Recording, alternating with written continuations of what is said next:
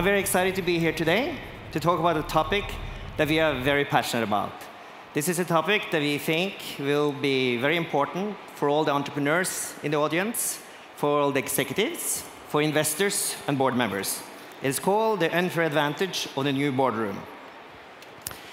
Let me set the stage with three propositions. My first proposition is that how to run a company is about to change dramatically. The second thing is that the way the board operates will also change. The board has operated in the same way for many decades. We believe those days are over. And as a consequence of this, what we really see, which really is the important message of my presentation, is that we are about to see an entire new software category emerging.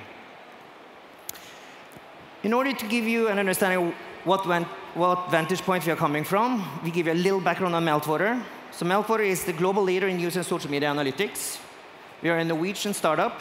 We started out in Norway 2001, two guys in a coffee machine, as the introducer was saying.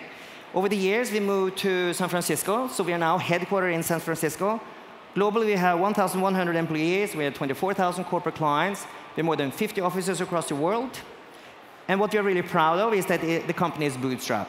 So for the first 12 years, we didn't did not take any venture funding. We did not do any uh, debt. Everything was built on the $15,000. And we think that's cool. But let me bring you to the beginning. This was the very start. Our uh, official address back in the days was Shack 15, Skur 15. It was on Tjuvholmen. It was when Tjuvholmen was really run down. Since then, Tjuvholmen has been um, refurbished. But we were sitting there in uh, buildings that was about to be um, completely demolished. The computers that you see was actually computers that we were given, uh, given by an old client of mine, Nettavisen. They were obsolete computers. And what we did was that we picked the components from those computers that worked, and that's how we put together the first server farm. So the product vision back in the days, in 2001, was that there's so much information that's being published on the internet, and it's really hard to track that information manually. And it's obvious that you need software to do that. And our product vision was that when executives come to work in the morning and have a normal cup of coffee, within seconds, we're going to provide them with information that helps them understand what happened in the world in the last 24 hours. What are people saying about their brand? What is happening with their customers? What is happening with their competitors? And general updates about the industry. And our aspiration was to help executives to make more informed decisions. And over the years, our service has become increasingly more complex, and under the hood, it's become a very sophisticated technology. Every day now, we process more than 100 million documents and 2 trillion searches. So we capture data, we enrich data, we have our own search engine, and of course, we do a lot of real-time analytics. And over the years, what we have concluded is that the business we are in is really tracking leading performance indicators. We really try to help companies understand what's going to happen going forward. So, for example, a brand. A brand is much more than a marketing metric. A brand is a leading performance indicators. Same thing with customer satisfaction. If your customer satisfaction is good, it's encouraging. Customer satisfaction is also a leading performance indicator. And you can create all sorts of sophisticated share of voice, so you can see how well you are doing compared to your competitors. And of course, all of that give you very interesting competitive intelligence. So going from what was initially a sophisticated Google alert, our service has become a very sophisticated tool for competitive intelligence and for executives to understand how well they're doing in the future.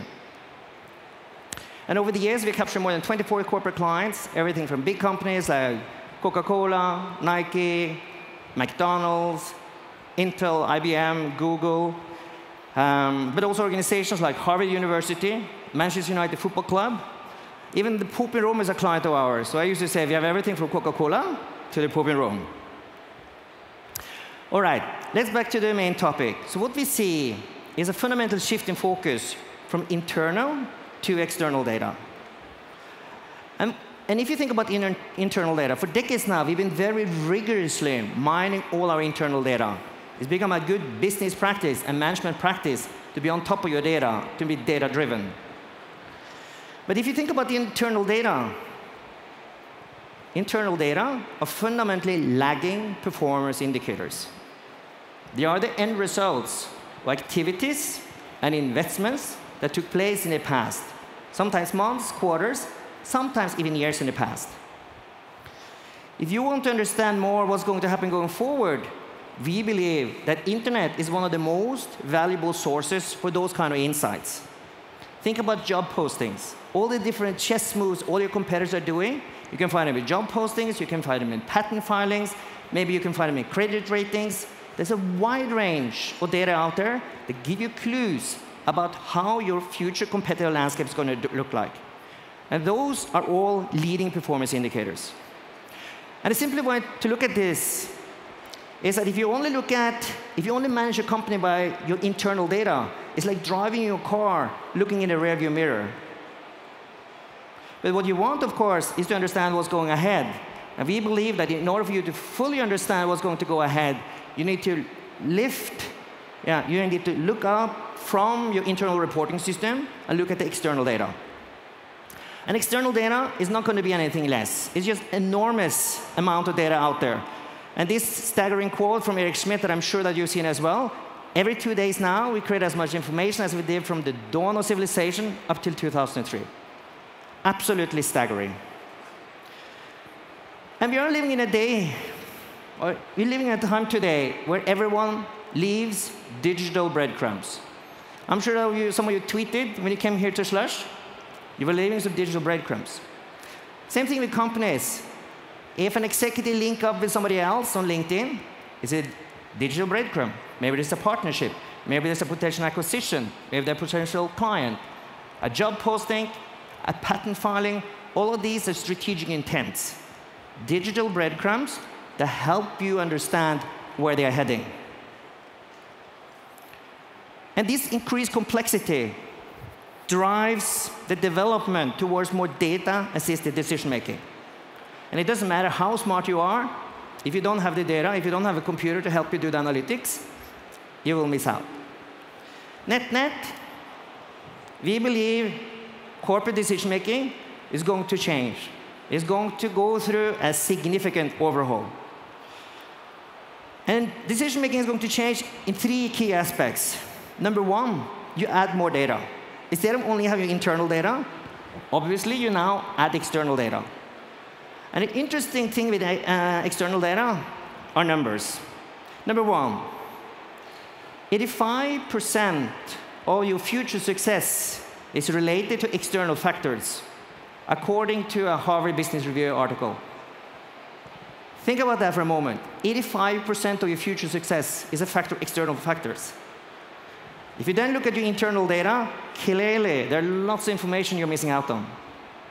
Secondly, external data, you can track all the different chess moves that all your different competitors are doing. External data can give you that information much faster and much better than your internal data. And an interesting thing I think with external data is also that they're external. They're third party meaning that not biased and processed with your internal organization. So for example, if you're a board member, I'm sure that you have seen the same problem many times. It's really hard to fully understand exactly what's going on within a company. The data you presented, the management report you presented, you know, regardless of good intentions, they are managed, they are processed, and they support the narrative. And it's a human nature that you find data to support your narrative. The interesting thing with external data, they are third party. They are objective. They are not a function of internal processing. Second thing with, with decision making is that timing has completely changed. For, for, for first, you can detect moves by your competitor before they make a dent in your result. Historically, you reacted once your sales were um, softening or you could actually see it in internal data. Another interesting thing with external data and the timing of it is that you can actually see the entire ecosystem change when you, when you do your moves.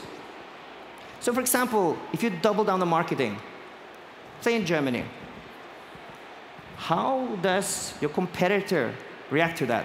Do they double down on marketing as well and neutralizing your investment? How do the clients respond to that?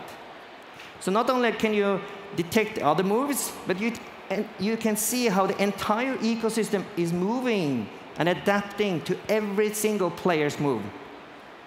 And the result of that is fundamentally that as a company or as an executive, when you run a company, it becomes increasingly more like a massive A-B testing exercise.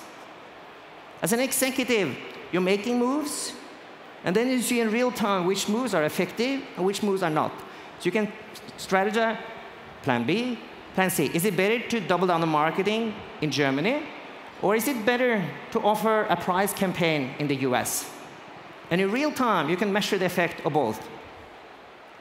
And third time, of course, is benchmarking. And I think it's external space is phenomenal for benchmarking.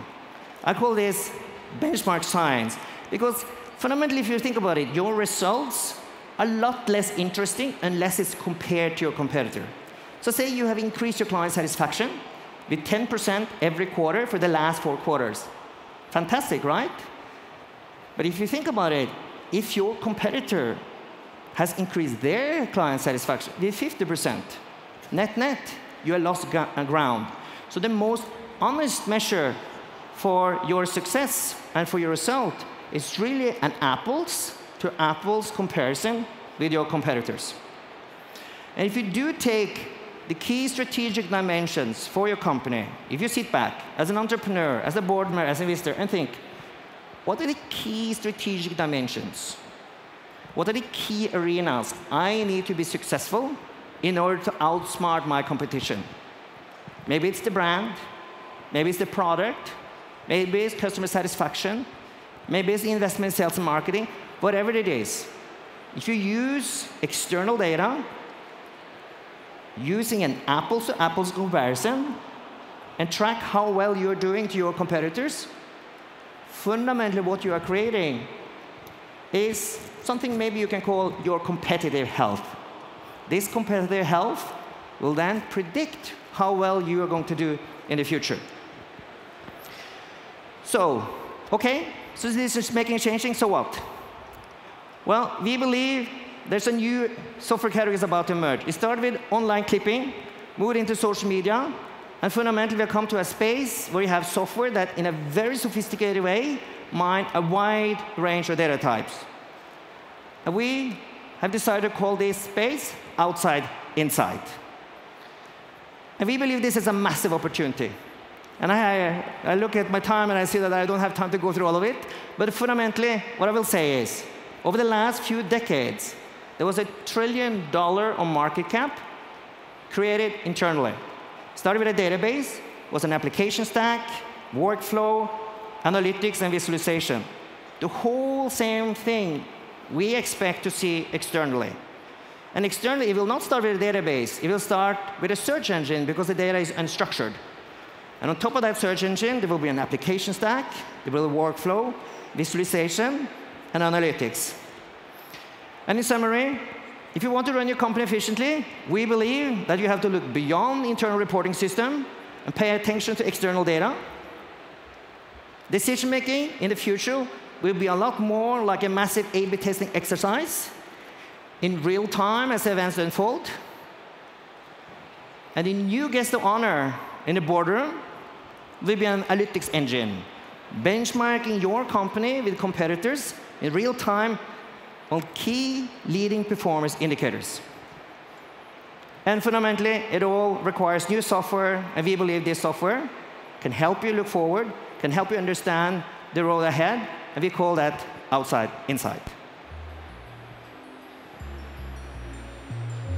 insight.